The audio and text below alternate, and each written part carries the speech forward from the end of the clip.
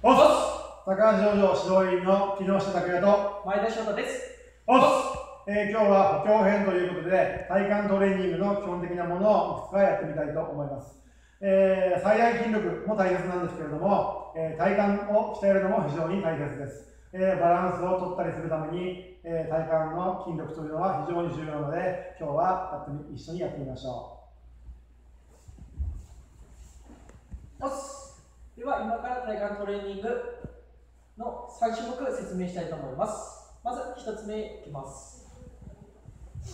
1つ目はスタピラという体幹のトレーニングです。まず床に手を直角につけてください。続いて足を伸ばしてください。で、この時にお尻を上に上げすぎたり下すぎたりせずに必ず一直線になるようにしてください。でこの時にもっと自分に負荷をかけたい場合は手を伸ばしていただくとさらに効果的になります。これを1分間やってみましょう。それでは始め、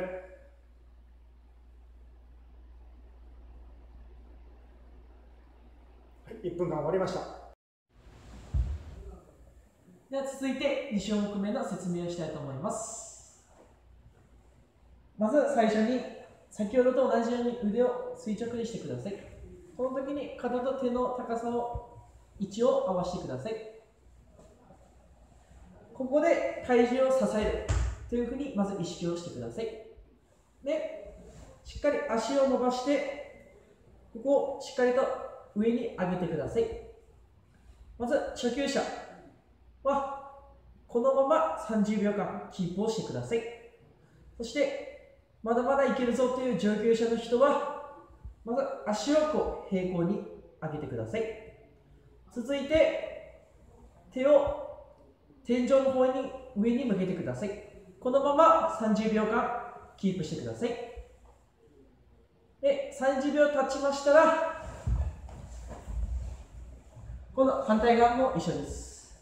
初級者はこの状態のまま。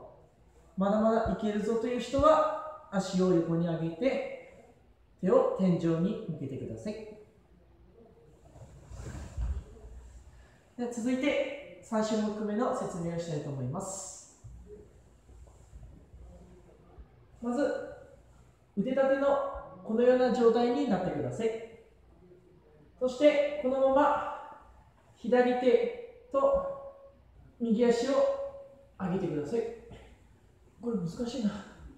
そしてこのまま30秒間キープしてください。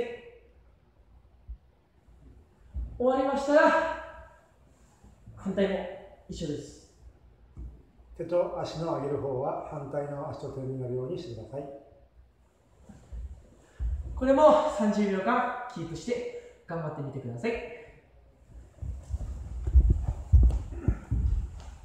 おっえー以上、お家でできる体幹トレーニングでした。えー、お家のお父さん、お母さんも一緒になってやってみてください。